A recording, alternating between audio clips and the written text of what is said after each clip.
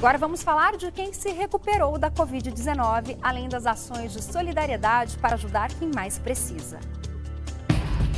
Mais de mil famílias isoladas nas ilhas do litoral paranaense receberam a segunda remessa de cestas básicas. A ação foi realizada pela Portos do Paraná, em parceria com a Defesa Civil, Polícia Ambiental e Governo do Estado. Oito barcos foram usados para a distribuição dos alimentos aos moradores da Ilha do Mel, Brasília, Encantadas e Ponto Oeste, Superagui, Ilha das Peças e mais outras sete comunidades. Elas abrangem a área dos portos de Paranaguá e Antonina.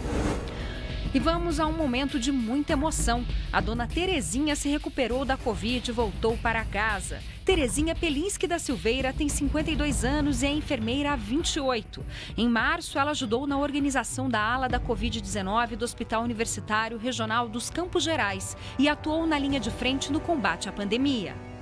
Após contrair o novo coronavírus, Terezinha ficou 12 dias internada, três deles na UTI. No domingo, ela recebeu alta e agora se recupera em casa. Nesses dias foram alguns dias foram muito difíceis, tá? Se não fosse oração de todo mundo, tá? Eu não acredito que o meu fio da vida tinha se acabado. A tecnologia tem sido importante no combate ao novo coronavírus. Em Maringá, o Senai tem sido protagonista na busca de soluções para o controle da doença. Esta pulseira foi inspirada em modelos que fazem o monitoramento de pacientes em Hong Kong.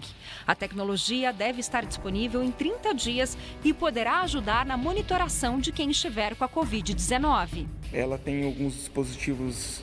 É antivandalismo para que você possa garantir que a pessoa positivada ela não vá retirar ao longo dos 14 dias necessários.